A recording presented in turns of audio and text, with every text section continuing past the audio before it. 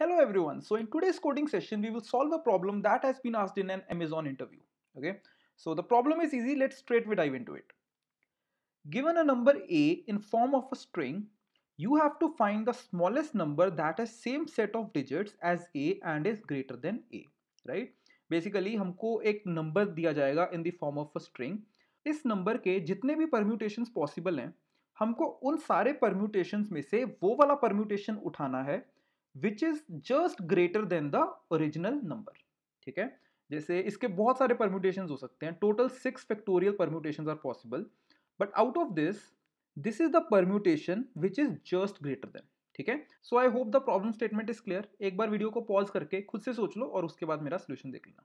So the idea is कि हम लोग पीछे से शुरू करेंगे एंड तब तक प्रोसीड करते रहेंगे जब तक कि हमारा नेक्स्ट एलिमेंट हमको छोटा नहीं मिल जाता प्रीवियस एलिमेंट से, ठीक है? So first let's look at the last two digits that is 6 and 5. Since 6 is greater than 5, we will proceed further. Now again 7 is greater than 6, we will proceed further. Again 8 is greater than 7, so we will proceed further. But now 1 is less than 8. So we will pause over here. Now what we are going to do is कि हम लोग remaining जो digits रह जाएँगे towards the right इनमें से smallest number ढूंढेंगे that is five और इन दोनों को स्वैप कर देंगे। वन और फाइव को स्वैप कर देंगे, ठीक है? So it is going to give me two five eight seven six one right and the last step is कि ये जो सारे नंबर्स हैं, इनको सॉर्ट कर दो। So that is going to be two five one six seven eight so this is going to be my output as you can see over here तो हमारा एल्गोरिदम क्या था? हमको पीछे से शुरू करना है। जब तक कि हमें छोटा नंबर नहीं मिल जाता प्रीवियस नंबर से, तब तक हमको आगे बढ़ते रहना है। ठीक है? जैसे छोटा नंबर मिला, हम लोग वहाँ पे रुक जाएँगे। फिर उसके राइट में स्मॉलेस्ट नंबर ढूंढेंगे। उसको उसके साथ स्वैप कर देंगे और जो डिजिट्स होंगे बाकी सारे उनको सॉर्ट कर देंगे। ठीक है? ये हमारा पूरा एल्गोरिदम है right so how we will implement this हमें जो इनपुट स्ट्रिंग मिलेगी उसको पहले हम करेक्टर एरे में कन्वर्ट कर देंगे और जो हम लोग फ़ंक्शन लिखेंगे, उसको हम लोग ये हमारा करेक्टर एरे पास कर देंगे। ठीक है? तो इस तरह से हम लोग कुछ कुछ करेंगे। चलो तो एक बार जल्दी से कोड देख लेते हैं।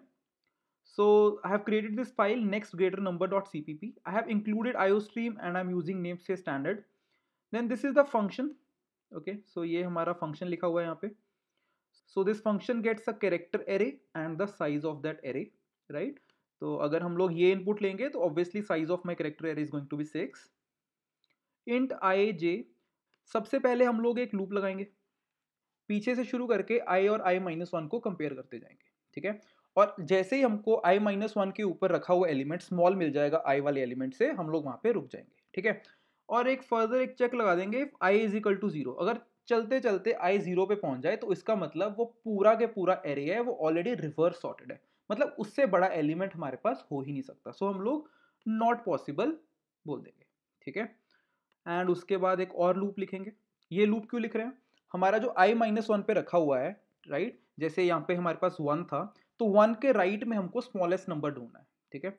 तो इनिशियली हमने स्मॉलेस्ट इजिकल टू आई रख दिया, ठीक है? बिकॉज़ हमको आई से लेके लास्ट तक स्मॉलेस्ट डिजिट निकालना है। तो इनिशियली मैंने स्मॉलेस्ट आई को बोल दिया और फिर आगे जैसे मुझे छोटा मिलता जाएगा, मैं अपडेट करते जाऊँगा, ठीक है? एंड फाइनली मैं array of smallest and array of I minus one को स्वैप कर दूँगा। एंड फिर हमारा लास्ट स्टेप था कि जो उसके राइट right में जो डिजिट्स हैं उनको सॉर्ट कर देंगे।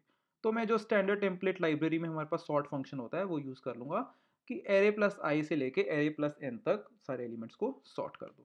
और फिर मैं उस एरे को प्रिंट कर दूँगा, ठीक है? एंड याद करो कि जब भी हम लोग एक कैरेक्टर एरे को प्रिंट करते हैं तो क्या होता है? तो वो स्ट्रिंग प्रिंट होती है, ठीक है?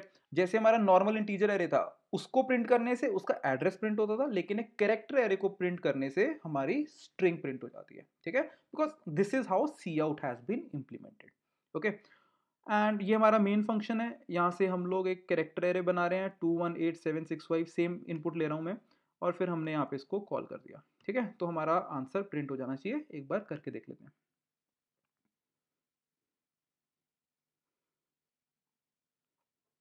So, we are getting 251678.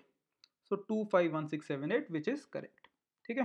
तो आई होप प्रॉब्लम एकदम क्लियर है। कुछ डाउट है तो कमेंट सेक्शन में डाल दो। I will reply as soon as possible and अगर सब कुछ समझ में आ गया तो एक बार खुद से कोड करके देख लो। थोड़ा कॉन्फिडेंस बिल्डअप हो जाएगा। ठीक है?